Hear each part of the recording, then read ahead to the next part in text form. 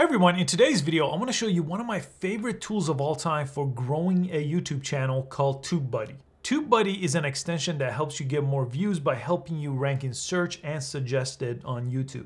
I have an affiliate link in the description below this video so you could completely for free sign up for TubeBuddy, but I will mention some of the paid upgrades through this video, but a lot of it is going to be things you could get started for completely for free. And what TubeBuddy has helped me do is rank my videos in search on YouTube.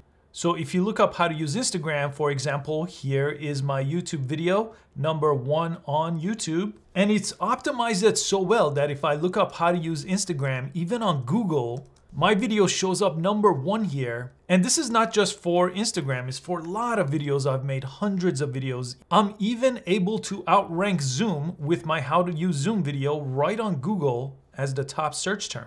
So let me share with you seven very actionable tips that you could follow along with step by step to get the most out of TubeBuddy. So if you don't have TubeBuddy, install it so you can follow along step by step. And at the end of the video, I'll show you my personal favorite on the mobile app too.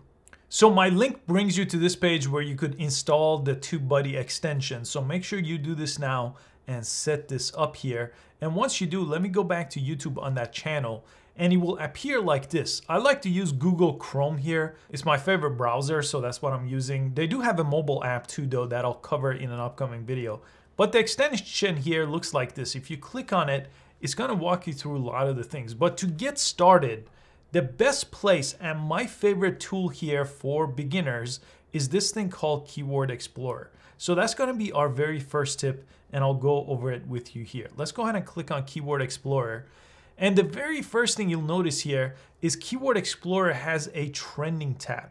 So it's gonna show you things that are trending right now on YouTube.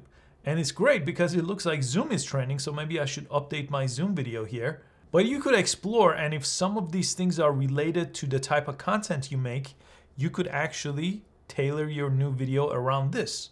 Now, besides trending, you also have this keyword box up here. Now this is really, really important and where a lot of people make a mistake. People type in whatever title they have for their video in the keyword section. Don't do that. I want you to just type in one or two words related to the content you're about to make. So for example, if I want to make a Zoom video, I'm not going to type in how to use Zoom. I'm just going to type in Zoom here. And I'll go ahead and press explore to see what kind of results we get here. So I just searched for Zoom and let me kind of walk you through the summary. You get this thing called the overall score. And by default, it's gonna land on this thing called unweighted. This just means it's not taking account anything you've done on YouTube before. And then there is a weighted tab here. So weighted is exactly based on your channel and your previous activity on YouTube. So it looks like I haven't made a Zoom video in quite a while, so it's actually gonna be a little bit difficult for me to rank this video. But it's also going to show you the monthly estimated searches for that. You could see Zoom is huge, 29 million here. And the number of videos in the search result, 37 million. And then you have score analysis. This is important, search volume. Now, typically when it's all the way out here, I usually avoid these type of videos because they're really, really difficult to rank for, okay? So I want it somewhere in the lighter green or yellow. I definitely don't want it to be in the red because that means no one's searching this. Then for competition, again, I wanna make sure the competition is not very high here. So you could actually search for that. And then here it's going to show you how well other videos are optimized for it. And it looks like they're highly optimized. So I got to do an excellent job here for my titles and SEO and descriptions and so on. So I always look over here and I always look over here under weighted. Now I think the free version just gives you unweighted. So that is one of the reasons of upgraded along with some few other reasons that I'll mention as we go. You also have results. So you could go to the result tab and see how you rank. And it looks like the number one video is actually by me for Zoom already. So I'm already ranking for this, so that's good. But this shows you the results for that. And back in summary here, this is what I want you to do after you kind of analyze what's going on here. What I want you to do is look over here and find another related search that may have a lower search volume than what you're looking at if the competition is too high here. So you look up Zoom meeting, for example. I could always go back to my previous search. They're gonna have a history down here. But this is gonna give me different numbers, right? This one is still has a crazy search volume and it also is very well optimized. So still very hard. Zoom meeting recording, let's see if that's any better. And again, that's a little bit better. You could see I have a better search volume. And then I could see more related things. So I would narrow it down. The key for growing a channel, especially where it's young, is finding things that don't have a huge competition, right? You shouldn't try to rank for Zoom the one keyword. It took me four years to rank for that video, making videos every single day, knowing everything I know about YouTube and TubeBuddy. Okay, so what I recommend is narrow it down. Find something in the middle ground here in the yellow or the red where you could actually rank for where the search volume is not crazy high. You could also use this to see what's going on on Google too. So it's not just YouTube. I sometimes look at this and try to even rank my videos on Google too, which they rank a good amount. A lot of my traffic comes from Google too. And you could also look at tags, which we'll talk about in a second, but they are available here. Now, once I use the Keyword Explorer to find the perfect keyword here, and I'll take my time on this typically, then I use the second tip that I'm gonna cover here, which is SEO Studio that's built into TubeBuddy that really helps you kind of craft your title, your description, and get the perfect SEO score for ranking your video. Now to use that, I'm gonna click on TubeBuddy again and it's called SEO Studio. Let's jump in here and I'm gonna go ahead and my target keyword again is record Zoom meeting. That's what my video is gonna be. And it's gonna put a couple of things in here by default, but I'm gonna go ahead and call this how to record Zoom meeting, right? So I wanna make sure my keyword here is identical to the keyword I used to search. I just added how to because I only make how to content on this channel. And then in description, you want to basically include something that's related to your title and it reads correctly and it's not just a bunch of keywords here, okay? So want to record your Zoom meeting.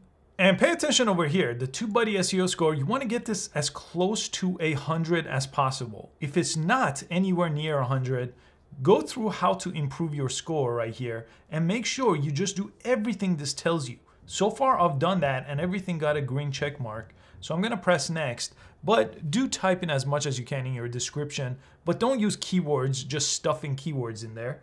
And it looks like to get to 100, I need to add some tags. So include partial matches to your keyword, include more relevant tags. So I always use TubeBuddy for all my tags. So I just kind of go based on what it's telling me here and you can see I'm up to a 99%. And I use a dozen or so here, so it's gonna get me closer to the 500 character limit here. So the free version again is a little bit limited. I think you only get like three tags where I get almost all of them here. So I'll add a few more and I got my score to 100. Okay, so now I could press next and go to this last page. Again, looks like this is one of those videos I've made previously, has a couple hundred thousand views, but since Zoom is trending, maybe I want to make an updated video here. Now this next tip here is on this page is related to your thumbnail and uploading a thumbnail here and comparing it to the other thumbnails. I could go ahead and press upload a thumbnail and I didn't upload this one, this is just my previous video, but let's say this is what I just uploaded. I could see how it's comparing with the other thumbnails on top and below it. Is it competing? Is it anywhere near the same quality as the other thumbnails? If it is, then I could make sure that's the thumbnail I use. If not, I can make sure I improve my thumbnail here. And it's gonna give you some thumbnail tips, bright and high contrast. There is bright, there is high contrast, right? Text is large enough to read, font and color and shapes are consistent with your brand. And then at this point, you could go ahead and save the draft and then retrieve it when you upload your video, right? So it took care of everything for you so you don't have to redo it later. Now, next tip is related to thumbnails, thumbnail generator. Okay, let's go there. And when you go to the thumbnail section on any one of your videos, it says create a thumbnail and you could actually use one of these generators here. So you could use a frame from your video, for example, here to create a thumbnail and press continue. And it does have a bunch of options to create a thumbnail. Now, I'm not gonna go through a full dive on this, but I did want to bring this to your attention because it does have some powerful tools over here for creating thumbnails. And while you're here, this is a little bit of a bonus, but when you're uploading your video, there is a best practices guide by TubeBuddy that will appear on the right side and it's gonna tell you a bunch of things, eight different best practices here and I've completed five. Make sure you complete as many as you can when you upload your videos here for the best result. Now this next tip, the first time I came across it kind of blew my mind. You could A-B your thumbnails, meaning you could run one thumbnail versus another thumbnail on the same video live on YouTube and get real results to see which thumbnail is better. Let me show you over here. This one only works with the Legend plan, which is their highest paid plan. So if you don't have it, don't worry. I'll show you how it works anyway. This is something you may want to upgrade to though if you think it's useful. But what I could do here, and some of mine are running right now, I could compare a YouTube thumbnail to a newer YouTube thumbnail and see which one performs better. So I've compared lots of videos where my face are in a thumbnail versus when they're not. I've compared some of these with different graphics, again, my face versus not, and I've tested this out quite a bit. And this is literally changing up your YouTube thumbnail for a couple weeks or whenever it gets the right results, and it tells you exactly which one had the better click-through rate, which one had better watch time, and so many analytics here which I can show you on this video. You could see which one had a better click-through rate, how many people click on this versus the original. I need to either change my expression here and do another A-B test or just get myself out of the thumbnail here because this one's performing better. And it showed me that my variation here outperformed the original.